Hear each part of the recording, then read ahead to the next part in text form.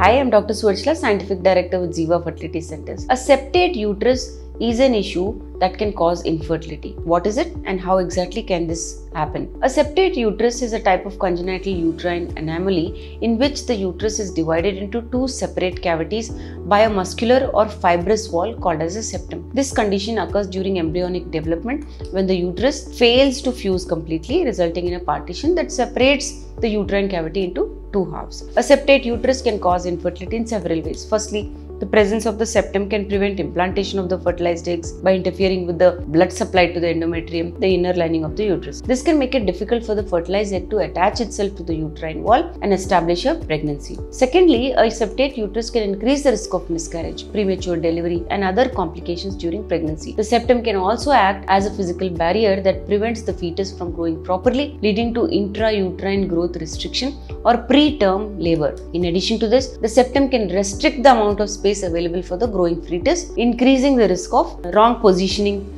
breech presentation, or other fetal anomalies. Diagnosis of septate uterus is typically done by performing a transvaginal ultrasound or a magnetic resonance imaging, also called as an MRI scan. Treatment usually involves surgical removal of the septum through hysteroscopy or laparoscopy, and the surgical procedure usually tries to remove the septum and create a single uterus cavity that can support a healthy pregnancy. If you wish to know more about this, please feel free to contact us on the numbers you see on the screen. Thank you. A lot of effort has gone into making this video. Please like and subscribe us. Thank you.